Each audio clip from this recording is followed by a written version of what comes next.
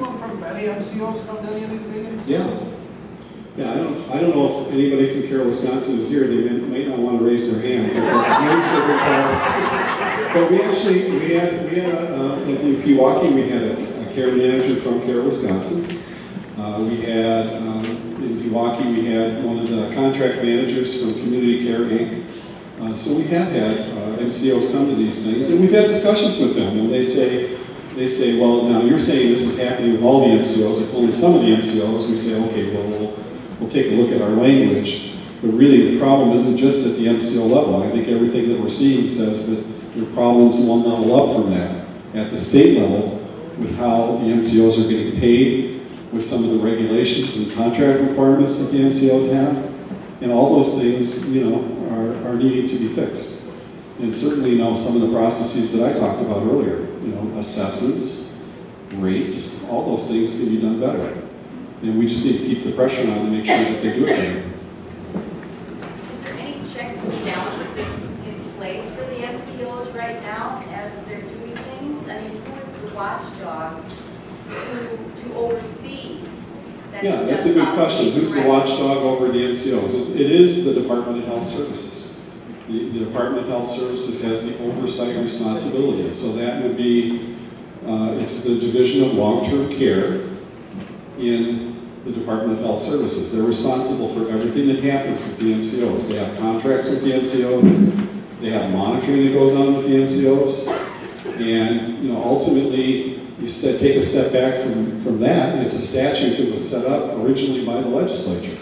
So, you know, if, if your feeling is that they're not being active enough, then you always can talk to your state legislator about it as well.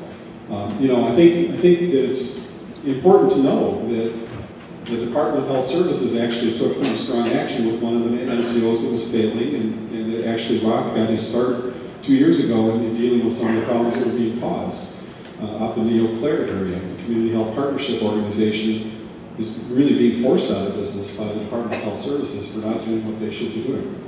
Now, are they totally to blame for their situation? Probably not. When you look at some of the, you know, people who came out of northern Wisconsin Center who settled up there at very high costs. The number of people with developmental disabilities in that area to begin with is higher than others.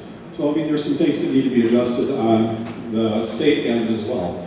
But they did hold that organization accountable, and they're actually seeking a new uh, operator of the managed care organization up there.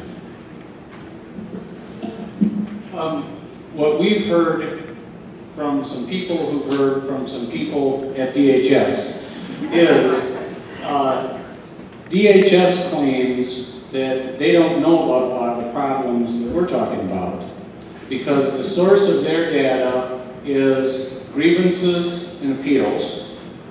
And anybody in this room been a grievance or an appeal about any of the things that we've talked about?